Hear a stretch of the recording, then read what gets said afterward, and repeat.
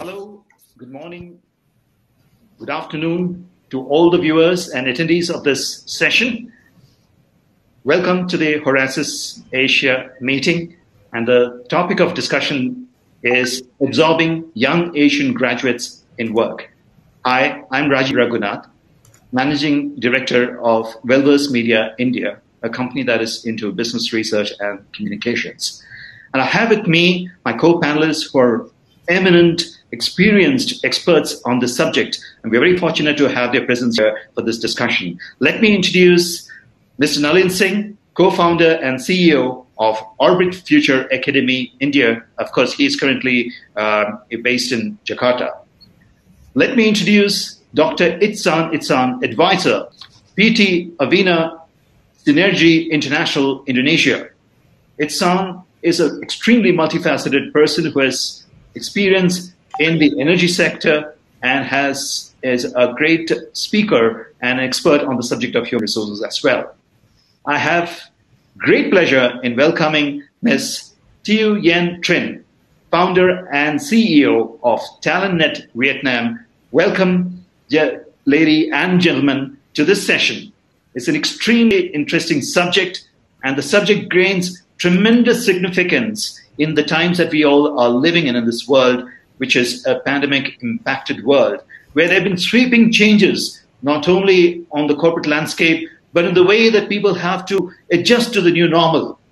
And in adjusting to the new normal, the one big segment that is called upon to shoulder great responsibilities for today and for tomorrow would be the young graduates. So, talking about the young graduates, there are in the entire Asian region, there are millions of uh, young people who are graduating out of educational institutions and preparing for their long careers in, the, in their respective chosen areas of specialization. Our experts will be talking, taking us through the different facets of that preparation, how organizations will have to prepare for absorbing the young workforce, and how the young workforce will have to be preparing for the jobs of the future. So, what I would do is that I will straight away get down to the discussions. I will have a few questions that I'd like to present to our experts and have their observations. So, straight away, today, as we are looking at the domestic, at the national economies, retracing the growth path as we recover from this uh, pandemic. The key question is that are you are we seeing a discernible change in the employment trends? Are we seeing any significant changes in the job creation in the Asian region? And for that, first of all, I'd like to go to Nalin and have his observations on what are the job creation trends that you're seeing happen on the Asian landscape, and if you could comment particularly in regard to the economies where you're actually doing your business and operations. Over to you, Nalin. Thanks, Rajiv. So we operate primarily in Indonesia, and uh, we are a company that provides skills for future jobs. Few trends that are taking place, you know, out of all the graduates passing out in Asia, India, China, and Indonesia contribute about 40% of that. Actually, they contribute 40% globally and in Asia they're closer to 80%. For graduates passing out, there are six clear trends that universities and job uh, givers should be careful about and view it carefully. One, there are fewer jobs in the private sector due to automation, artificial intelligence, etc., which was even happening pre pre pandemic. Two, the governments are across the world are going in for minimum government maximum governance, which means they are hiring fewer people. So private sector is not hiring, government is not hiring. Third, students don't see the value of these time consuming degrees. If students today are smarter and work faster, they don't see the sense of why a three year degree still takes three years and isn't faster. And they also see that the most qualified person that they know is the person teaching them, and they don't want to be like their teachers. That's not their aspiration. Fourth, out the two things that have become most expensive among what we need in life, like food, clothing, shelter, health, education, and uh, the communication, what has become most expensive in our lifetimes is medicine and education, disproportionately so. Medicine is understandable because you walk into a hospital and it looks different from what it was 30 years ago.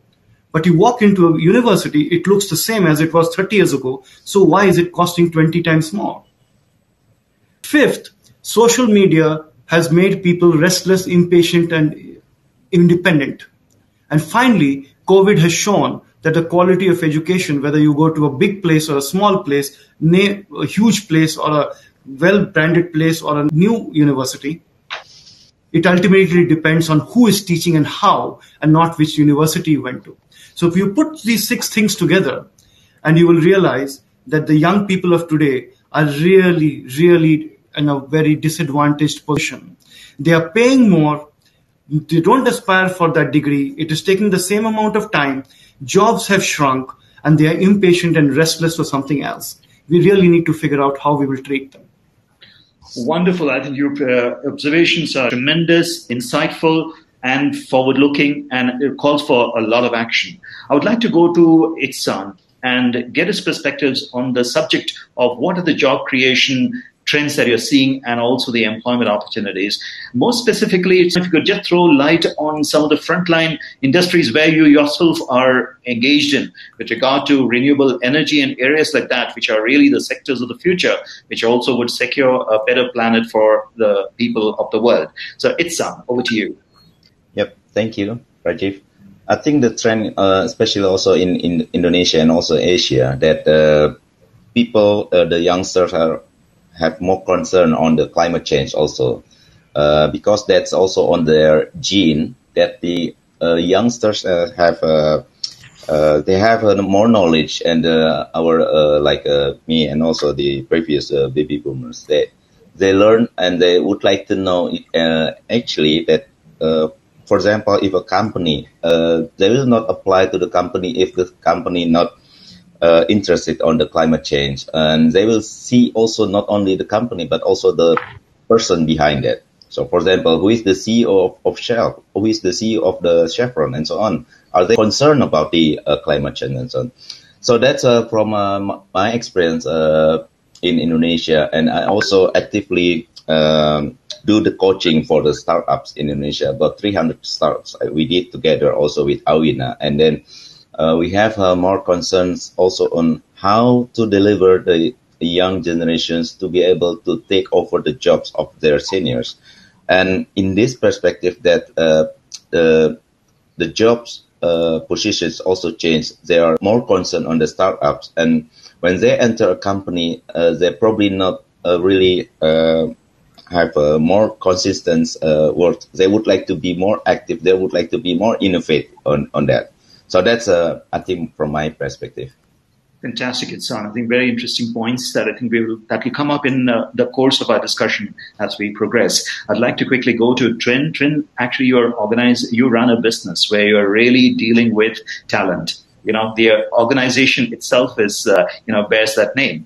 Uh, Trinh, uh, uh, how would you think that the trends would change as we enter what is still our pandemic times, but the world is already talking about a post-COVID scenario. And uh, Nalin has already alluded to the situation of uh, job creation not happening in the private sector like before, and also the accent on degrees are far lesser than what is being taught and who is being who is teaching right so uh, Trinh, your perspectives are very important and you're based in vietnam an extremely dynamic country a lot of young people. So let us have your views on what are the discernible trends. Good question. Thank you, Rajesh. So I'm lucky to work in uh, human resource and people development. So I'm very see the trend it change a lot. There are two respect. One in terms of the corporate, the company, right? We have to with the impact, we have to move faster and change the way of management before you can have the shape of triangle hierarchy. But now we move more on project based and circle, more and circle. And leader is not just the control and order, but leader is just facilitate the way and power more for people and create the environment more agile. Agile it mean doesn't mean in terms of office, home office or uh, at home or at office, but also agile in terms of the way of we manage people authorize, empower, uh, the benefit, bless the on the agile thing and put the employee become the center of the organization. When we set up the new policy to revive to hybrid working, we have to listen the voice from employees, what their contact, what is really need. So we redesign again the whole. And the way we use the workforce very different. Before that, we can use full-time employee within organization between the key workforce to achieve to support for business strategy and objective. But now we can see more. One internal marketplace and the other external marketplace. It means we can look at many channel external market. Robotic chatbot is one of the channel of resource, right? Internship student from university is one of very good resource. Part-time and freelancer, one of the resource. And cooperation, alliance, partnership, we, we, we have looked at overview picture about our business model, how we change our business model. From there, what is the indication for strategic workforce planning, overview of your organization, and then buy strategy, build strategy, and borrow strategy coming. Which workforce is the best efficiency for your organization? So you focus on that. So in that context, you more agile and flexible to select the best workforce that fit with your need and support the business, right? And in the context of that, employee become the center when you engage them, facilitate. And the, the young talent expect very different from before. For the baby boomer, for all the before, uh, generation, they expect the good environment, career development, and reward, compensation, recognition. That's it. But now very different. The young talent expect, I mean, what is agile, more hybrid working? More than 50% of the talent, they like hybrid working, right? They like purpose, like meaningful work to support for the, to bring the value, added value for the organization, for the consumer, for the communities. They care about safety and well-being, health, well-being. And they really engage and they like flexible. Yeah. So sometimes that is the business model. We engage full-time resource with external market resource. We engage startup with the organization as well. Let the employee to do not full-time 100%, but they can do back up the job of the company, but they can do other as well. Right? So that kind of mindset is very important that we, we change the way we work and the way we manage people and the way we cooperate. And that is really very good opportunities. All right. Fantastic, Trina. I think you've touched upon some very important aspects while you also talked about the need for business models to adjust to the new normal. You also touched upon what would indeed be the expectations of the young workforce that would enter the work. It's not just about the role or the or the perhaps the salary. It's a lot more. They're looking at the value systems. They're looking at the purpose of the organizations. Very very important points indeed. So I think uh, we had touched upon the first aspect of the trends and expectations. I think our, I was very happy that you know we have an extremely diverse set of uh, points uh, taken up and some in very interesting recommendations as well. Uh, I'll get to the second point, and in fact, this was something that Nalin had alluded to when he made his, uh, when you made your interventions, and you said that you know in these times when uh, you know new technologies are being you know, applied in organizations, they would necessarily have a visible impact on the employment patterns. You mentioned about new technologies. I would actually that would, that would be my question to the panel here is that with increasing automation, the application of things like artificial intelligence, robotics, machine learning, the whole work landscape is had been changing. And this is not a post-covid scenario. This has been happening for the last five years and more I'd like to have your perspectives on what is really the impact of the application of new technologies and automation on the engagement of young workforce in the organizations. Now, I'd like you to come in first on this one. So, you know, Rajiv, uh, it's a good point you brought up. Uh, we, we are supposed to be in Industry 4.0. The difference is when we move from Industry 1, 2, and 3.0, the time difference was huge and it allowed people to get reskilled and workforce was largely not as impacted as in industry 4.0 which is leading to mass job losses people not able to redeploy quickly and learn machine learning and ai That's one problem. The other is industry wants workforce ready people, which means they don't just want the technical skill. They don't value the degree as much as you can see so many large corporations now hiring people without a degree qualification. But they want people who have not only the technical skill, but have the other skills, life skills, soft skills, have compassion, empathy, design, things like that. And one shining example of that one shining example of that is Indonesia, which appointed a unicorn founder as its education minister out of the blue. And every course that we do for them, they have a huge mass reskilling program never before seen in the world, where people from campus are studying in private universities like ours, getting credits for that. And it is compulsory for us to have 50% of a course teaching character building elements oh, like wow. compassion, empathy, the, the listening skills, communication skills, life skills. I cannot teach artificial intelligence without 50% of the curriculum being on these aspects. Absolutely. Unless, unless the education systems adopts all this, industry will not hire these graduates or will have to retrain them, reskill them, add these elements and have huge internship programs which costs a lot of money. Our education system has to transform to industry 4.0 we need education 4.0 and unless that happens these graduates are not going to get employed we are going to create entrepreneurs by compulsion not choice they are being forced into entrepreneurship which as as far as we all know is a 90% failure scheme in the first two years we are forcing our youth into this 90% failure scheme because they're not employable Oh, very, very important point. And I think your suggestion about education 4.0 is so important. And along with that, you touched upon life skills. Uh, it's um, uh, yours is uh, many of the sectors that you're looking at. The application of technology had always been there. And progressively, automation would become, you know, the way in which these businesses are going to be run. Uh, let us have your perspectives on the net impact of automation on employment creation. And of course, one very important point that Nalin, that you just mentioned is that it is important to have entrepreneurship by choice and not by compulsion. So also keeping in view those aspects, we really like to have your views on uh, the way forward. Yeah, thank you, Rajiv.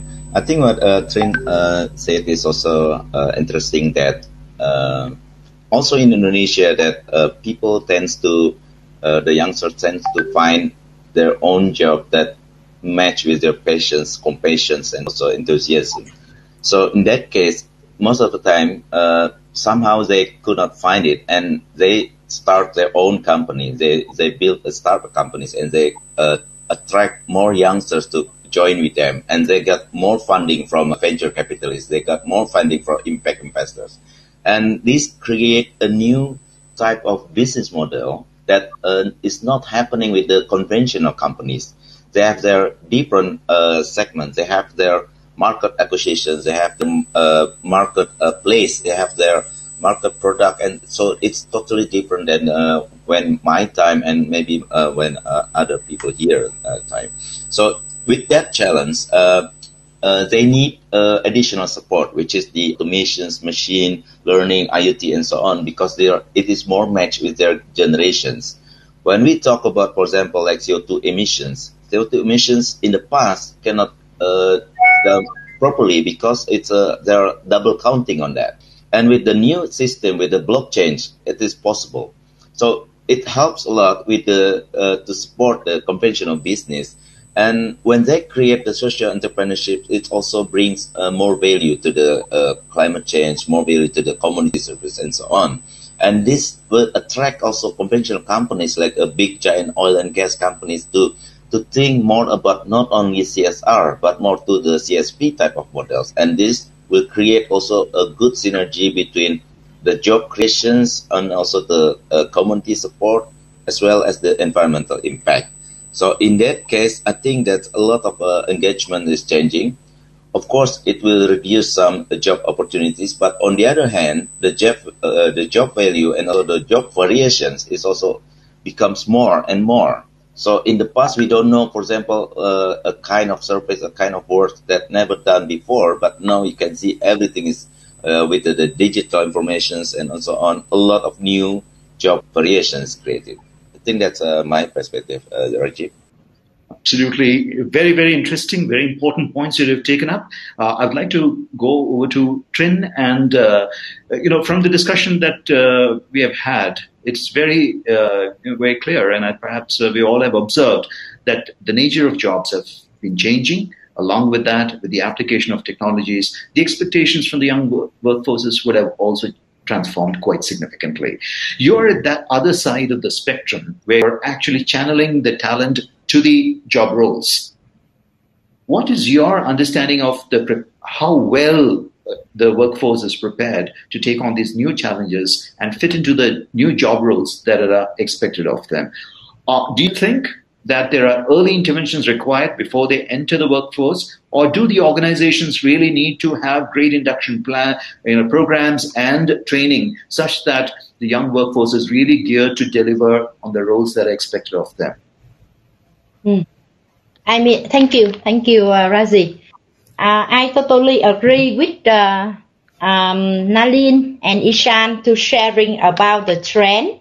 And overview, we can see it move a lot uh, for the now the requirement from organization focus more on the skill base, not based on the experience or the nature of job, mm-hmm. but based on the skill base.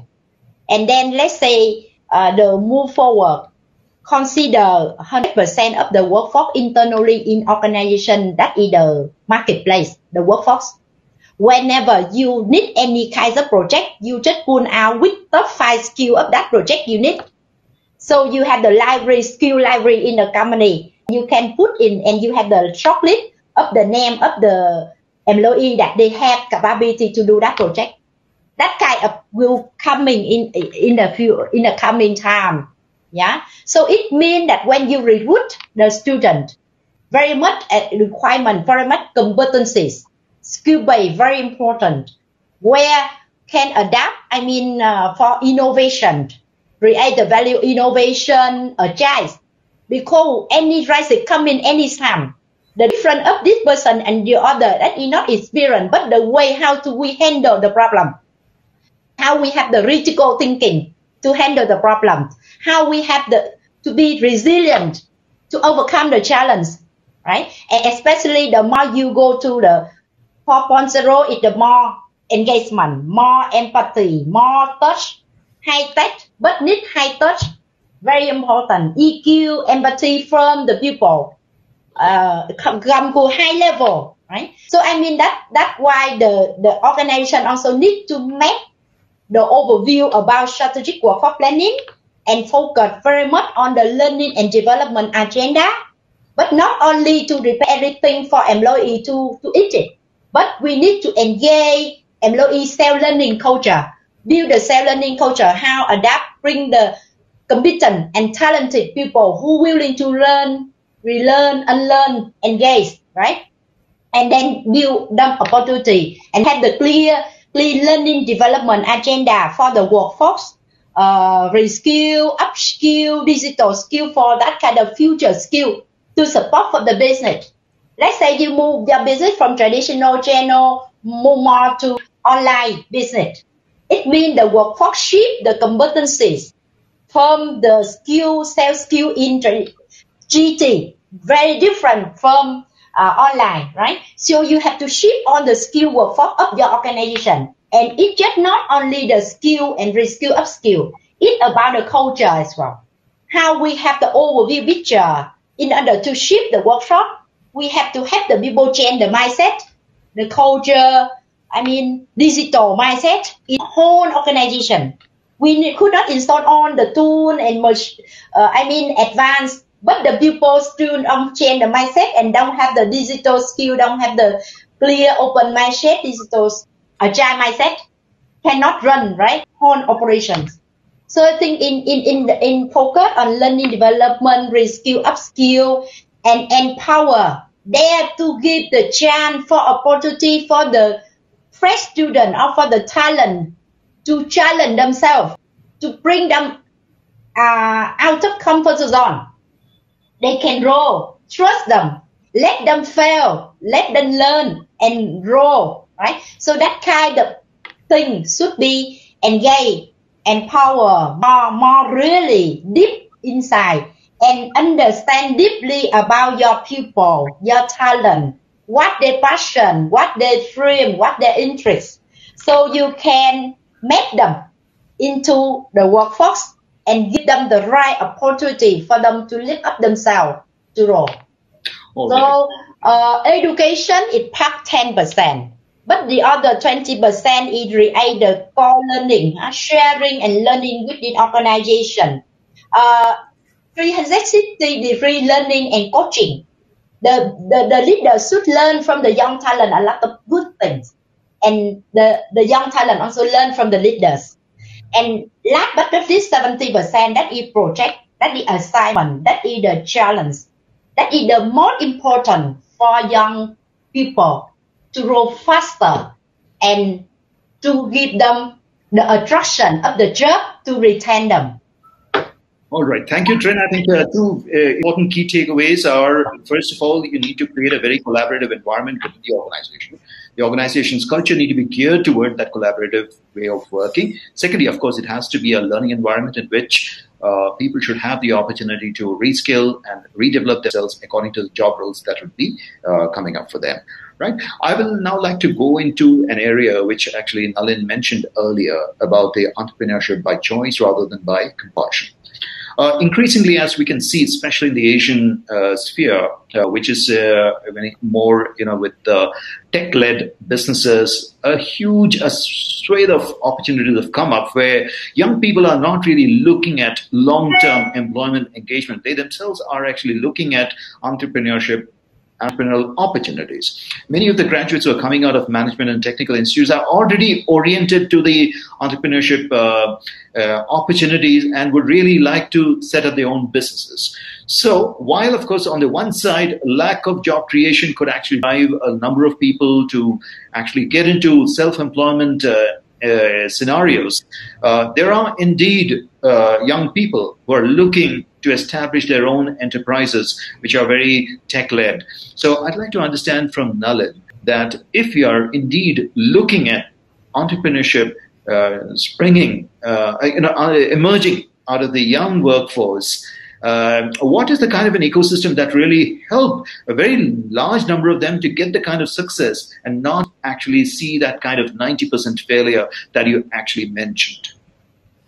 So there again, you know, if you see the largest and the most successful entrepreneurship ecosystems in the world, they don't necessarily come from the largest countries. Okay, you have very successful entrepreneurship ecosystems in Latvia, Estonia, uh, Singapore, uh, London. If you take it as a small city in itself, Bangalore, people think of India as this big ecosystem, but really it is just five or six cities. Most of the time, it is driven by a very healthy university ecosystem. Okay. And it is then from there, the ecosystem has various parts universities, incubators, accelerators, investors, innovation labs. I call it the three I's uh, innovation labs, industry, and uh, investors working with uni- universities. Only with that would you create a good ecosystem. And universities are the primary source, and they are not equipped to create job creators. They are equipped to create job seekers, which too they are not doing too well right now. So it is an unfair demand on them. Hence, government support them and give them grants, etc. And that's happening in India, that's happening in Indonesia, and a lot of work is happening in that area. But really, the entrepreneurs need to be provided skills. Now, here is how you, we need to think about uh, uh, education. We we keep hearing all this edtech, edtech, edtech. Think about the poor student and the poor entrepreneur. You're pounding him after eight hours of work, eight hours of study, pounding him with gadgets and all this artificial intelligence and all this edutech uh, software. After all, it is still the same human brain. What are you trying to do? If you look at it, if they need to acquire these skills to be an entrepreneur, you have to think of the whole framework in four parts information, knowledge, skills, and experience. Of course, it has to be sparked with inner, inner motivation. There's a Sanskrit word called antarprerna, which means inner motivation, from which the word entrepreneur came. And if you don't have that, there's nothing else that we can do about it. So if you look at these four parts, information I like to think as what questions, what is this? Which Google, YouTube, and WhatsApp can do much better. You don't need a professor for that. That is why professors in the classroom are not respected because the mobile phone has more information than what they are providing. Second, for knowledge, you need the why questions answered, from which you need somebody, an expert, 10% of the time answering your queries. The third part, when it comes to skills, this is project based learning uh, in a classroom with real projects and life skills thrown in. And finally, the experience part is internships and actually practicing what you have learned. So the problem is universities and ecosystems, even incubators are concentrating too much on the what and the how. Mm-hmm. They think they need to teach the what and the how. The students already know that. It's on their mobile phones. They want to know the why and the what if, which can only come through project and classroom based. The whole percentage of time spent on the what and the how has to inverse with the why and what if. With project based, skill based learning, till you impart skills, a person walking out of a university setting up a startup suddenly needs all the skills that he would need as a CEO, which typically in a company you become a CEO after 15 to 20 years. We are putting undue pressure on these young people. They need to be imparted these skills, and that will only come through project based experiential learning. Fantastic. Uh, uh, you know, great points um, I, uh, on what that ecosystem ought to deliver, rather than only focus on uh, what and how. Uh, Ichsan, uh, uh, what are your thoughts on the kind of an ecosystem that will actually nurture entrepreneurship in the diverse business sectors, especially if you could just focus on some of the sectors where you and your business are really engaged in? Yeah, I think um, most of the young entrepreneurs now should be able to follow the the target that uh, also happen in the worldwide, which is the food, energy, and also water. Three of these sectors are really important uh, since uh, uh 20 years ago, but also till now. So these three uh, sectors will never change. Why food? Because uh, in the near future we will fight for the food. A lot of the resources missing, and then we have to increase the capability, technology, and also the including the human uh, resource for the food supply and the energy because we also fight for the climate change. So therefore we need more uh, uh, green energy and also can also need a train for the uh, new operators and new engineers and also for the uh, new jobs for the uh, green jobs. For the water it's always the compositions between this is very we, we had in the past for example like for uh, Syria that we fight for the waters. And we also have uh, in the past uh, a lot of waters like in the Nile River. They fight for the waters. So these type of things we never uh, remove in the sectors that need to be concerned on. So uh, when when I do uh, also the coaching and also mentoring for uh, my students and also other groups in the incubator business, uh, I always emphasize these three things um, because they also know uh, these three uh, sectors are the, the most important uh, in the near future for them also. But the most uh, valuable things that we need to prepare also for the youngster is not only the coaching but also mentoring. Mentoring is is two type of things compared to the coach because coach is like ad hoc things so it's a very short period. You, you teach somebody and then uh, stop and that's it. But mentoring is more sustainable way in the long term, and you have uh, your uh, uh, mentor and you also have your uh, uh, people that you train. So it is more a long term on the training ship. And I agree with also Nalin that the the business engagement is one of the most important things. You can you cannot just uh, create uh, entrepreneurship or startup by only providing the uh, seed funding or you get the uh, funding for, for, the Series A, Series B, uh, or Series C, but you also need uh, the mentality, skills, and also the business engagements, the business models, and also the the, the innovative, creative thinking of the the youngsters that entering there a lot of uh, startup cannot go anywhere because they just got this a lot of tons of the seed monies, but they don't have creativity to grow. Mm. And at the end, they spend all the seed money only for their salary. They get twice or three, even three times higher than the conventional companies. When you ask a, uh, startup companies, they can have a three times or two times higher than conventional company. But the output, it's probably not not the same, and, and it's not uh, very efficient. So what is missing there, I think, it's about their patience. I think it's about their creativity. I think what is their innovations there. So they are. I agree with uh, Nalin that they're pushed too hard to be able to take over the job as a CEO, to take over the job as a CEO or CFO when they are not ready there. So uh, this is also the the the uh, weakness of the digitalization uh, period like we have now that they think that they can find everything like a Google. So when you meet Rajiv, for example, that you will ask you like a Google things, and even they have their own software that they ask you, uh, they they they see you as the person that they can absorb everything from you in a second. So they are, they like to learn, but the way they learn is not the way the same as the conventional way, but they like to learn instantly. And when they do learn instantly, there's a there's a big uh, challenge there that they also cannot keep up what is uh, because it's learn education is something like a process.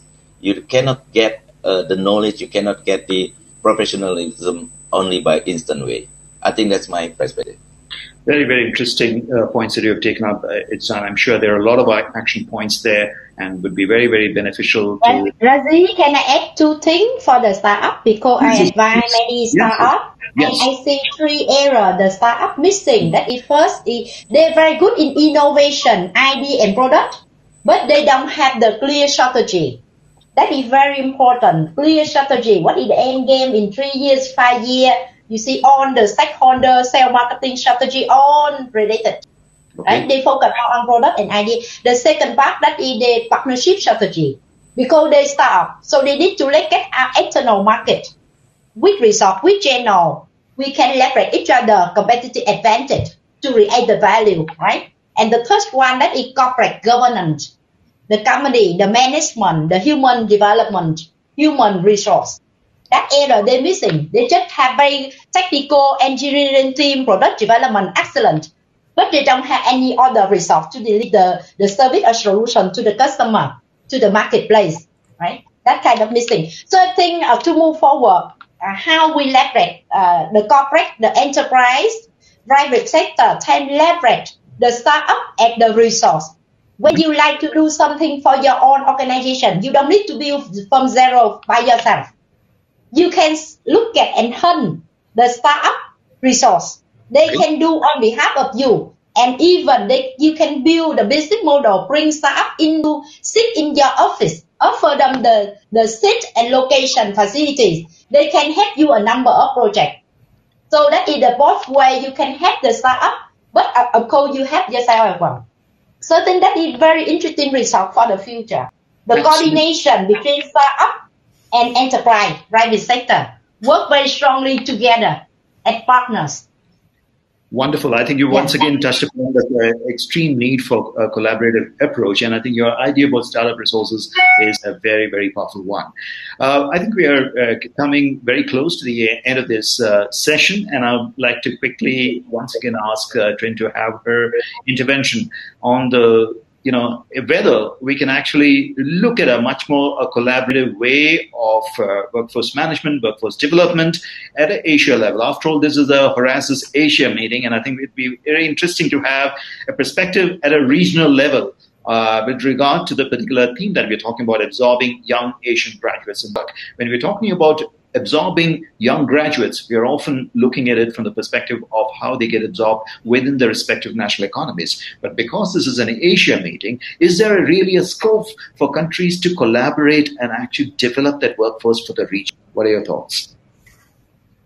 Trinh. So I, I think it's at a, a, level of the government. I think let's uh, look at the not the citizen of one country, how we no border among ASEAN countries, and let free workplace, right? You can travel, you can go anywhere in ASEAN, work together in any countries. So it means you have the, the talent, a, a big workforce for the ASEAN. So that if from the governments, I think can work together and delete the border, right? Work permit very easy, visa, anything. That area one. The second, I think opportunity for the association, industrial association, ASEAN Young Entrepreneurship Association. Let's work together and mapping which industry is competitive advantage of in each countries. And then we leverage the workforce together to exchange the workforce, to share the workforce, and to exchange the project, work together. So that is really very competitive advantage. The more efficiencies for that aspect. In education, I think work closely exchange among educational institutions together with enterprise more strongly exchange the workforce student from the first year, let them work for make the industry and make the major subject to support the industry outcome for three year time. So everybody have the job, right? Mapping, strategic workforce planning in that huh? And finally, uh, final words, I think I have, I like five words, A, B, C, D, E. A, agile. Agile in all the mindset we do at the government level or association or enterprise or startup. B, build from within. Focus on your talent work for within the company, care your people. Really work and build them, grow them together with you. Very important. C, very much on cooperation, partnership.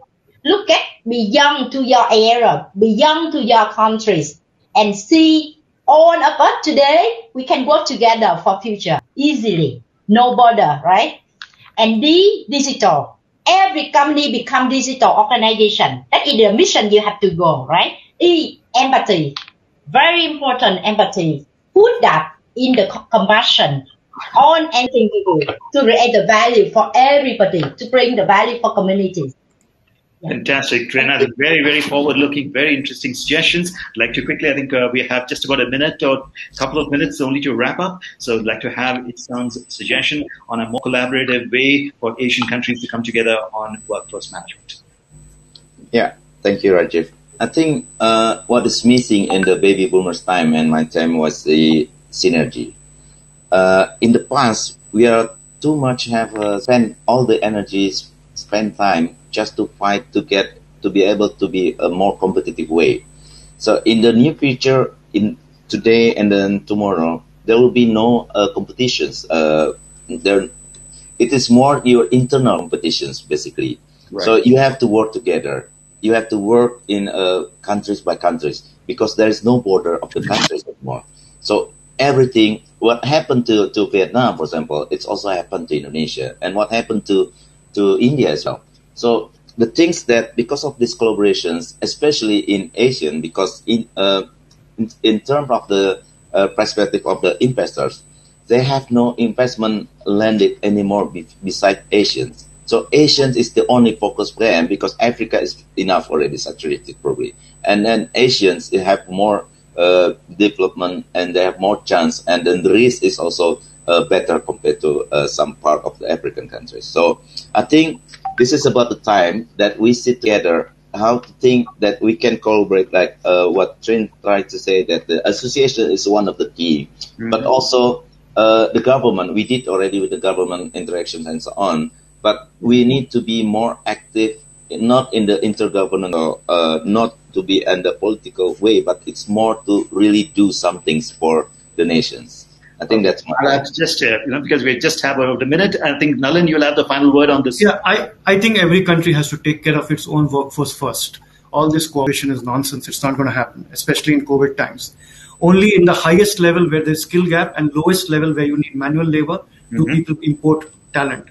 Okay. Companies should stop cribbing about this thing and stop doing CSR and adopting some village in Africa or some girl child somewhere else. Mm-hmm. They should do upskilling, reskilling of the graduates in their own country and co-opt universities.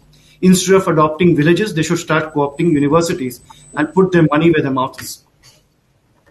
All right. So I think we've had an amazing session. I think we've just run out of time. I would really like to thank Nalin, Ichsan, and Trinh for your amazing observations. It made this session so wonderful. There are many takeaways. I would, I was thought, thinking of uh, listing them, but I think it's run out. I'm sure we have the recording of the session well for people to recover, to uh, you know, refer to. Many, many thanks for your time today, and I think it was a fabulous time for me to actually moderate this discussion. Thank you so much. Thank Thank you, Rajiv. Thank you very much, Rajiv. Very good question you, from you. Thank you. Very good. Thank you. Thank nice sir. to see you. Yeah. Later. Thank you, Trinh. Thank you, Rajiv. Yeah, thank you. Bye all. Bye. Bye bye.